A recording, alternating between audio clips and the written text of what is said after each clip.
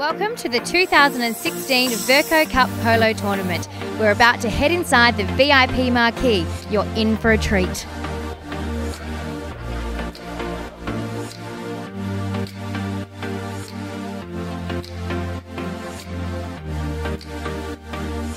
Here we are with Simon Wicks. Now, Simon, you're a sponsor for today. How do you feel about the turnout? Oh, we are, Jacqui. Look, we love the polo. We've been involved for a couple of years.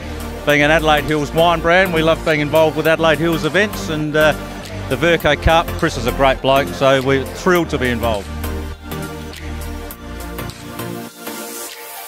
Here we are with Daniel. Now, Daniel, is this your first Verco Cup? This is, yes. Great. How do you feel about the turnout? Well, the weather's fantastic. The turnout is good. Uh, at the moment, I'm just trying to fit in and try and work out where everyone is.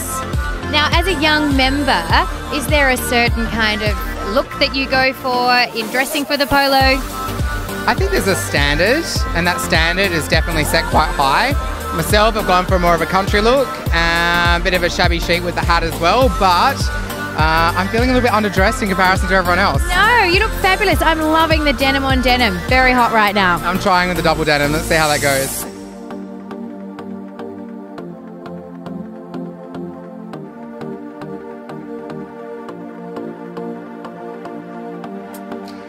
We are with this gorgeous, dashing young couple. Who have we got here? Uh, Digby. and Ashley. And now, can you tell me who you are wearing? It looks absolutely stunning. I actually got this just from a little boutique in Melbourne, so yeah. Beautiful. How about you, Diggs? Uh, just wearing Rhodes and Beckett shirt and uh, River Island chinos. Great. And Ash, how many Verco Cups have you been to? This would be the fourth that I've been to, and I just love it. It's great every year.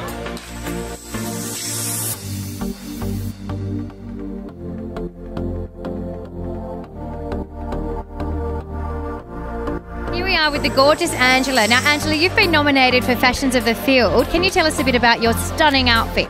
Uh, this is from by Johnny, so I got it from 2U. Saw it in the window, just loved it. Thought, oh, do I have anything to wear it to? And then, oh, of course, the polo. So Isn't that fab? The polo is great because you can wear anything from a jumpsuit to a stunning dress, pop on a hat, and uh, pull off the outfit.